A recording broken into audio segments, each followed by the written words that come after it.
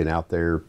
I've had people call me. I've had, you know, people call me and ask me what what I stand for, and I've tried to put that on my Facebook pages to know um, social media is a big deal nowadays, and um, tried to get that out there.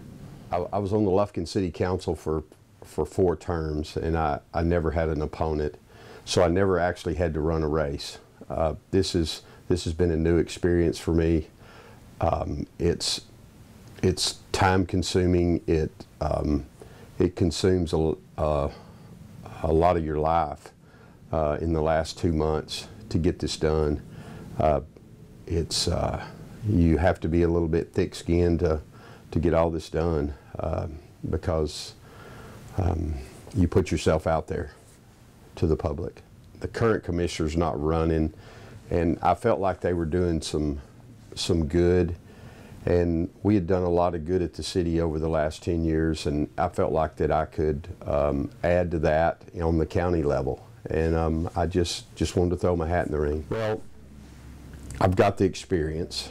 I, um, I currently run a multi-million dollar division of a company out of Mobile, Alabama. Um, I, uh, I have that business experience that I think needs to be at the county level, and I think I can bring that to it. I did uh, um, 10 years of time on the city council, so which, you know, when I got on that, when I got on that council, um, there's a lot to know, just like there'll be a lot to know in the county government. Uh, I, uh, I mean, I had to sit back and and analyze and look at how the city government is run, and I'll have to sit back and look and see how the county government is run. Um, I mean, you're not going to change things overnight. Um, you have to work at things. Well, I'm a, I'm very much a proponent of the unit road system. I mean, it was voted in. Um, they've done an analysis on the roads. They're working on the roads. They're trying to. They're they're working very hard to get that done.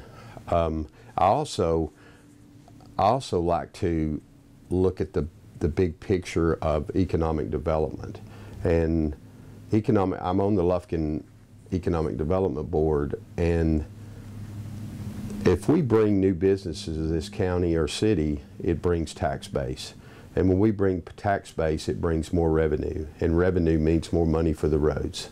So it's a big circle of how we get there, but that's kind of my uh, my platform to is yes, I am a proponent of the road system, but also I'm a proponent of of economic development, which I think works.